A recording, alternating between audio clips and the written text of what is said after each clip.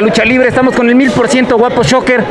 Pasan los años, pasan diferentes plazas y la gente ama al mil por ciento guapo. Hoy lo vimos con un solo movimiento, la gente se le entrega aquí en la Arena López Mateos.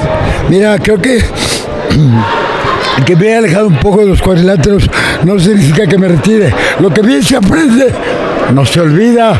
Recuerden, 11 veces campeón mundial, cuatro veces campeón de parejas, por favor, diferentes torneos, siendo el número uno.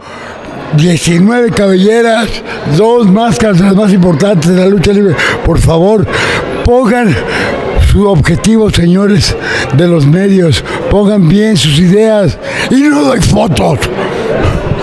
Al lado de también otra leyenda, como lo es Blue Demon Jr., hoy acompañando a un joven realístico, dos hombres que marcaron una época, queramos o no, en nuestra lucha libre mexicana, un mil por ciento guapo que arena donde se paraba, arena que la llenaba.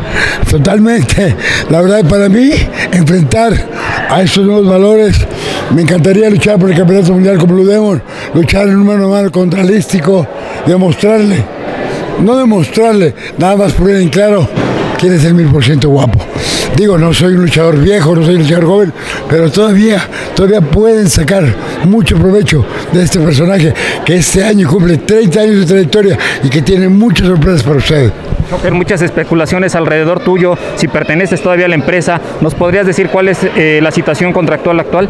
Quiero decirles que a partir de hace algunas semanas ya soy agente libre, ya no soy, ya no pertenezco a ninguna empresa y que, pues ni modo, el ciclo se terminó. Y ni modo, hay que seguir adelante, hay que buscar los caminos. El mil por ciento guapo no es el Consejo Mundial de Lucha Libre, no es una empresa. El mil por ciento guapo, no hay fotos. Muchísimas gracias.